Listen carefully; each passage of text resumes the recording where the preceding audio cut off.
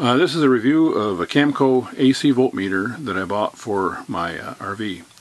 Uh, anytime you plug in the AC when you're at a park, you really need to monitor the voltage, especially for things like brownouts.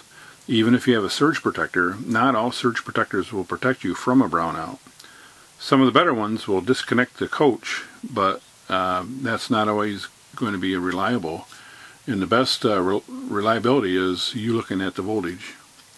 Now one nice thing about this is it's designed such that the oval uh, aspect of it allows you to recover the other plug that you uh, are not plugged into so you don't waste two outlets with such a meter. However, I found that this meter doesn't seem to be too accurate. And one of the real problems are is static electricity can really affect um, the reading of the meter. And in fact, so much so that I'm not sure if you can really rely on it. So what I'm doing actually is I'm causing static electricity on the face, the plastic face of the meter, uh, just by rubbing my finger across it.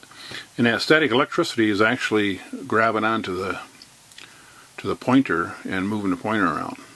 So is this accurate or not? I don't know. Um, I, I, have to think that uh, I'm not sure that I would trust it all that much. So what I may do though is uh, bring out my fluke voltmeter and stick it in there and just do a comparison and see uh, you know what the true voltage is. So Mr. Fluke is measuring 120.5 volts. Mr. Camco is measuring about looks like 122 volts. So that's about what uh, what two volts off. So um, one percent one and a half percent off. I guess that's not too bad.